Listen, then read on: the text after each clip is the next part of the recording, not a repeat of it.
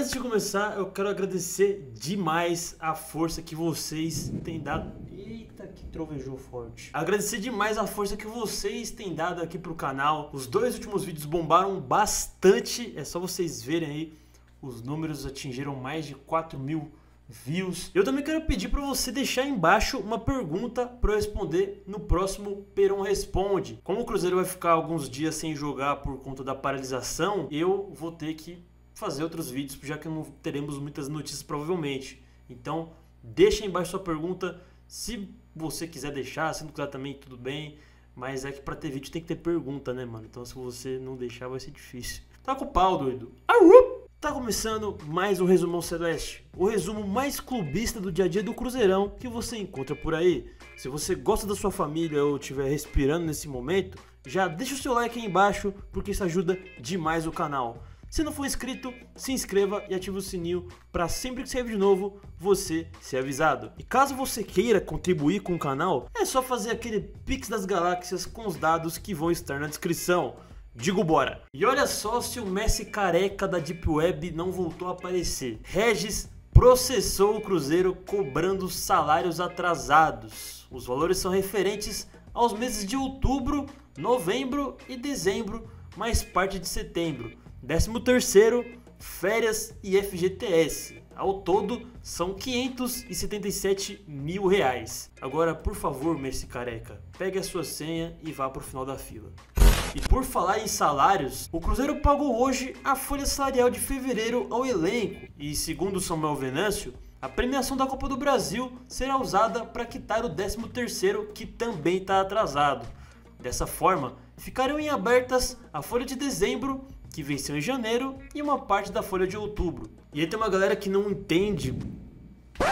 São Pedro, isso vai ajudar ou tá difícil? E aí tem uma galera que não entende porque o Cruzeiro tá pagando as folhas mais recentes e não as mais antigas. É porque basicamente as folhas que já venceram há mais tempo elas têm juros e multas para serem pagos e aí o valor fica maior. Como a de fevereiro foi a que venceu mais recentemente, logo as cobranças são menores do que as das outras folhas que já venceram há mais tempo. 011 também é RH. Outra folha aqui do julgamento do Felipe Augusto pelas ofensas ao árbitro da derrota para Caldense pelo Mineiro. E o resultado do julgamento foi apenas uma advertência ao atacante, que assim fica disponível para o clássico contra o América no próximo domingo. Se é um reforço ou não, eu não sei, cara. Mas o que eu sei é que a lei do ex é a única que funciona nesse país. Então que ela seja cumprida no próximo domingo. Por falar em reforços, enfim, reforços dentro do elenco, ontem e hoje tivemos dois jogadores da base treinando junto com o profissional. O primeiro é o zagueiro César, de 19 anos, que é o atual capitão do time sub-20. O outro é o lateral direito Ramon Rocha, que veio do Palmeiras, também de 19 anos. Há uma certa expectativa de que ele seja aproveitado nos profissionais um pouco mais cedo, já que por conta do Cruzeiro não ter um lateral direito reserva hoje no profissional, as chances aumentam. E não sei não, viu, mano, que essa história aí do Manuel ainda não ter renovado, a gente não tem mais nada sobre esse assunto. E aí também, como eu falei, a gente não tem um lateral direito reserva pro Cáceres. Eu acho que esses dois aí vão pintar no time. Eu acho que esses dois aí vão ir pro time profissional já já. E hoje saiu o tão aguardado resultado do exame cardíaco do atacante Zé Eduardo. Para quem perdeu o rolê, ele fez um exame mês passado que deu uma alteração nos resultados. E aí ele ficou afastado por um mês para fazer novamente os exames e ver se os resultados mudariam. Hoje os resultados saíram, mas foram considerados inconclusivos pelo departamento médico. Então ele ainda permanece afastado por um período até realizar novamente os exames. Força Zé, vai dar tudo certo aí contigo e ó, força Pablito também, que logo logo vai estar com a gente participando de lives, enfim, aquela reverência toda dele aí que une a torcida. Um cara que, sem palavras para ele, me ajudou bastante aqui com 011 e, enfim, você vai sair dessa, pai. Tamo junto. Hoje foi noticiado que o Cruzeiro demitiu o roupeiro Geraldo Barros, conhecido como Geraldinho, e chamou atenção porque ele estava no clube desde 1980, há 40 anos no Cruzeiro, a idade de muito tiozão aí que tá me assistindo. Em entrevista à reportagem do UOL, Little Geraldo disse que foi desligado com o motivo de corte de gastos. Devia ser o roupeiro mais bem pago do mundo, pelo visto.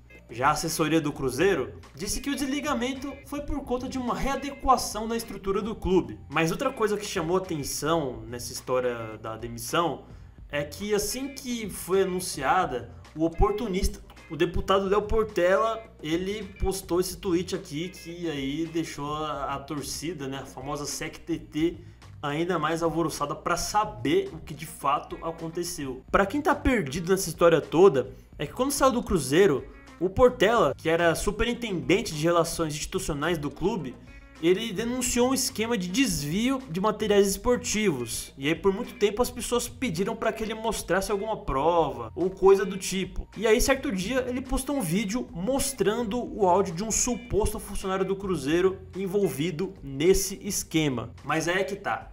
Era o Geraldinho nesse áudio falando? O Lírio Geraldo tem alguma coisa a ver com essa história toda?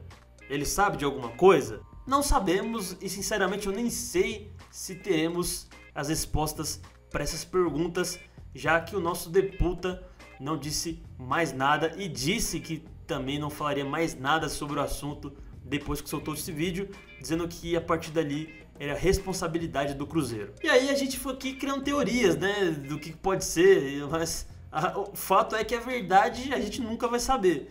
Mas enfim, o que, que, você acha que tem nessa história toda aí? Será que o Geraldinho realmente tinha alguma coisa a ver com essa história? Ou será que é só mais um oportunismo aí do nosso queridíssimo Deputa? Comenta aí embaixo. E hoje, em entrevista ao GE, o atacante Marcelo Moreno fez uma revelação surpreendente. E realmente é surpreendente, velho. Não é clickbait. Ao falar sobre propostas que recebeu para deixar o Cruzeiro, revelando inclusive que aquela história de ter sido oferecido ao Botafogo era fake news, Moreno disse que recebeu propostas de times da Série A times que disputam Libertadores e que uma das propostas que recebeu era para ganhar mais do que o prêmio da Mega Sena, que é de 40 milhões de reais. E ele ainda afirmou que na verdade o valor é até maior, mas que mesmo assim ele decidiu ficar no Cruzeiro. Velho, eu curti demais isso quando eu vi, eu achei, mano, pô, cara ama o clube. Olha, isso aí não se compara a, a nenhum jogador de hoje em dia. Mas eu pensei também que, pô, se o cara realmente ama tanto assim o clube, ele poderia ter aceitado a proposta, recebido os 40 milhões, doava pro Cruzeiro e depois voltava que aí ia ser Stonks, mano. Ia ser muito Stonks se ele fizesse isso. Mas falando sério, você acha que isso aí realmente aconteceu ou é só mais um, uma aula de marketing do nosso queridíssimo Marcelo Moreno? Comenta aí embaixo. Para terminar, hoje não tivemos nada de transferência. Tá ficando cada vez mais difícil falar de transferência aqui nos resumões celeste. Resumão ou resumões? Tá ficando cada vez mais difícil, cada vez mais escasso, porque o Cruzeiro só deve anunciar reforços assim que terminar o estadual, se terminar. Então, tá difícil. Mas a gente pode desmentir fake news. E a fake news da vez é de que o atacante Thales Magno estaria chegando no Cruzeiro. Thales Magno, aquele mesmo, joia do Vasco.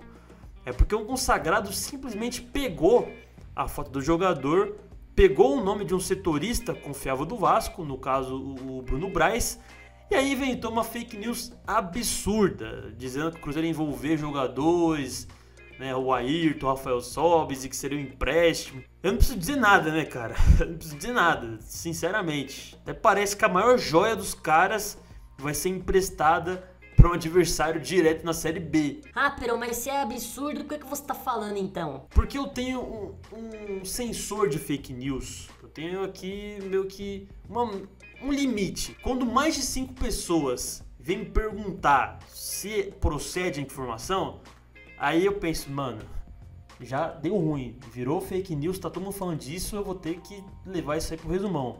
Então, cabe aí o meu papel de trazer aqui essa fake news para dizer que, mano, se liga, não procede. Valeu por assistir mais um vídeo.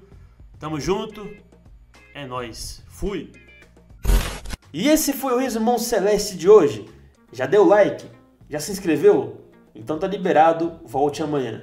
Não fez nada disso? Ô, oh, Ajuda nós aí, né, meu raposo belga? Likezão, inscrição, um beijo para você e para quem for da sua família e volte amanhã para ver mais um resumão.